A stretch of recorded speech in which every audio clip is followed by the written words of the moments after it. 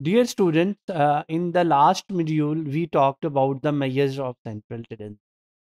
हम जब data analysis करते हैं क्वांटिटेटिव रिसर्च में और उसका जो इनिशियल फ़ेज़ होता है डिस्क्रिप्टिव एनालिसिस तो उसमें जब हम डेटा के फीचर्स देखते हैं तो उसमें पहली चीज़ जो हम देखते हैं वो उसकी मिड uh, पॉइंट देखते हैं या उसकी सेंट्रल टेंडेंसी देखते हैं तो लास्ट मॉड्यूल में आपने देखा कि जो सेंट्रल टेंडेंसी के तीन मैयर्स हैं arithmetic mean median and mode और आपने उसके तमाम फीचर्स को पढ़ा। तो आज के जो इस मॉड्यूल में है, हम इसको कैसे कंप्यूट करते हैं एसपीएसएस के थ्रू हम वो सीखेंगे कि जब आपके पास एसपीएसएस की डेटा फ़ाइल हो, उसमें आप इसको किस तरह से कंप्यूट कर सकते हैं। आइए देखते हैं कि एसपीएसएस सॉफ्टवेयर में हम इसको कैसे करते हैं। डियर स्टूडेंट्स यहाँ पर मेरे पास एक डाटा सेट खुला हुआ है। अब हमारे पास इसमें एज का वेरिएबल है जीपीए का वेरिएबल है मंथली फैमिली इनकम का वेरिएबल है और इसी तरह हमारे पास इसमें कुछ और वेरिएबल्स भी हैं, जैसे कि इसमें हमारे पास कंपोजिट स्कोर्स हैं डिफरेंट जो है सोशल मीडिया यूजेस के, जैसे कि कोई अगर सेल्फ डॉक्यूमेंटेशन के लिए इस्तेमाल कर रहा है सो सोशल मीडिया कोई सेल्फ एक्सप्रेशन के लिए और कोई सोशल टाइज को डेवलप करने के लिए। तो हम अब इसमें से कुछ वेरिएबल्स का देखते हैं कि हम किस तरह से उसकी सेंट्रल टेंडेंसी को कंप्यूट करते हैं। फ्रीक्वेंसी में जाएँगे। आ, मैं आपको दोबारा बता देता हूँ एनालाइज में से आप डिस्क्रिप्टिव स्टैटिस्टिक्स पे आएँगे और फ्रीक्वेंसी पे क्लिक करेंगे। और यहाँ पर आपने जो वेरिएबल आपका जिसका आपने सेंट्रल टेंडेंसी कंप्यूट करना है याद रखिएगा जो आपका रिथमेटिक मीन है ये कंटिन्यूस वेरिएबल्स के लिए या इंटरवल वेरिएबल के लिए कंप्यूट होता है। तो हम एज का और जीपीए का देखते हैं रिथमेटिक मीन उसके लिए हम सेंट्रल टेंडेंसी के टैब में मीन हम इसके साथ इसका मीडियन और मॉड भी ले लेते हैं। कंटिन्यू को क्लिक करेंगे। अभी सिर्फ़ हमें इनकी सेंट्रल टेंडेंसी देखनी है तो हम फ्रिक्वेंसी टेबल को अनचेक कर देंगे, जो कि बाय डिफ़ॉल्ट चेक हुआ होता है। तो आप अगर इसके लिए इंटरेस्टेड नहीं है तो इसको अनचेक कर दें। ओके करेंगे। आपके पास यहाँ पर एज और जीपीए दोनों का मीन मीडियन और मॉड आ गया।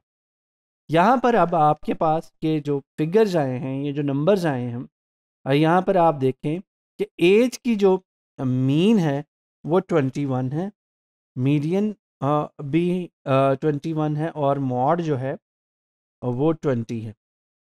तो इसको हम ये कह सकते हैं कि ये almost equal to each other हैं। यानी इनमें बहुत ही मान्यूट सा डिफरेंस है। तो जब मैंने आपको बताया था थियोरेटिकली जब हम इसको पढ़ रहे थे, जब एक्स बार मीडियन और मोड की वैल्यूज़ सिमिलर होंगी तो उसमें फ्रीक्वेंसी का जो है, आपका जो स्क्यूनेस है, वो बहुत कम होगी। यानी डाटा स्क्यूड नहीं होगा। जीपीए के मीन मीडियन और मॉड इनमें भी बहुत मान्यूट सा डिफरेंस है। तो इसमें भी हम ये कह सकते हैं कि यहाँ पर भी स्क्यूनेस की वैल्यू जो है वो बहुत कम हो। यानी हम एक तरफ़ तो इसका मिड पॉइंट देख रहे हैं, दूसरी तरफ़ हमें इसी स्टेटिस्टिक से ये भी अंदाज़ा हो रहा है कि इन वेरिएबल में स्क्यूनेस का लेवल क्या होगा। हाँ इसमें हाँ बहुत कम स्क्यूनेस होगी। और जो आपकी जो बेल शेप कर्व है, वो जो है, नॉर्मली डिस्ट्रीब्यूशन की तरह की होगी। इसको मैं आपको दोबारा बाय चार्ट से भी करके दिखाता हूँ।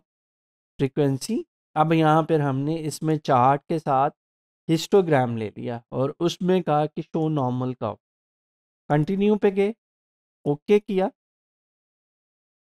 अब आपके पास ये एज का और ये जीपीए का, यानी आपके पास ये दोनों की नॉर्मल का फिट इन हो के आई है। तो इसमें हमें नज़र आ रहा है कि जीपीए में जो स्क्यूनेस है वो नेगेटिव साइड पे है, थोड़ा सा डाटा नेगेटिव साइड पे और जो है वो स्क्यूड है, मगर ओवरऑल जो डाटा है, वो नॉर्मली कव के अंदर फिट इन हो रहा है ज़्यादा। और यहाँ पर अगर देखें तो ये जो डेटा है एज का, ये पॉजिटिवली साइड पे ज़्यादा सिक्योर्ड है। यानी इसकी जो नेगेटिव साइड की कर्व है, वो उस तरफ़ ज़्यादा स्क्यूड नहीं है, बल्कि पॉजिटिव साइड पे ज़्यादा स्क्यूड तो इसको हम स्क्यूनेस में और जाके डिटेल में देखेंगे कि स्क्यूनेस कब और क्यों किस तरह होती है। तो हम क्योंकि इस टाइम मिड पॉइंट की बात कर रहे हैं और उसको एस पी एस एस से करना देख रहे हैं तो वो मैंने आपको करके दिखा दिया है कि आप एनालाइज में जाएँगे, एनालाइज में डिस्क्रिप्टिव स्टेटिस्टिक्स में से फ्रीक्वेंसी पे जाएँगे और आपका जो वेरिएबल है वो आप यहाँ पर मैं इसको रीसेट करता हूँ, मैं किसी एक और वेरिएबल के साथ को इसका निकाल के दोबारा दिखा देता जैसे मेंटेनिंग एग्जिस्टिंग टाइज का एक वेरिएबल है हमारे पास। हम स्टेटिस्टिक्स में से मीन मीडियन और मोड ले लेते हैं। कंटिन्यू और ओके यहाँ पर भी देखें तो मीन मीडियन और मॉड ऑलमोस्ट उनकी वैल्यूज़ सिमिलर तो जब डेटा नॉर्मली डिस्ट्रीब्यूटेड होगा तो इन वैल्यूज़ में डिफरेंस कम होगा। और जब डेटा नॉर्मली डिस्ट्रीब्यूटेड नहीं होगा तो इसमें फ़र्क आपका ज़्यादा आएगा।